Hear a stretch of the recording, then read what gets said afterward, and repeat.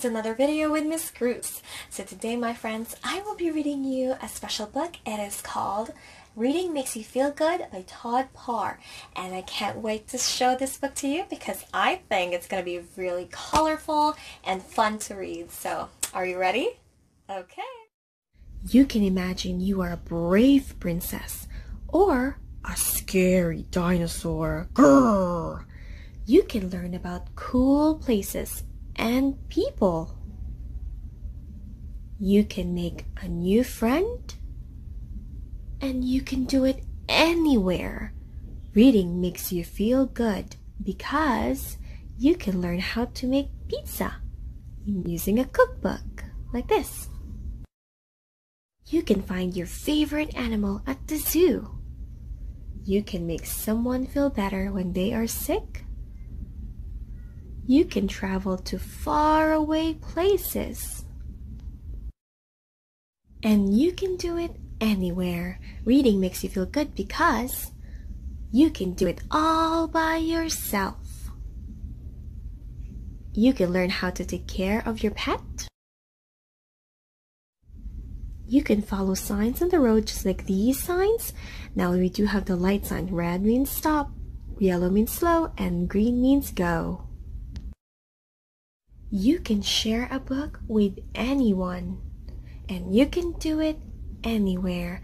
Now this one is called a bookmobile. Reading is important when you read or when someone reads to you. It helps you learn and discover new things. Curl up with someone special and read a book. You'll feel really good.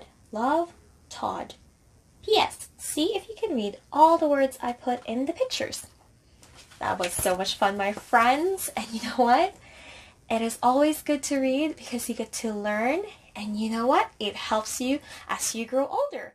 It will help you better to understand things and to read more books to learn, right? Now, my friends, there are different kinds of books in our center or in the library or in our home as well. So, a couple of things that we love is math book.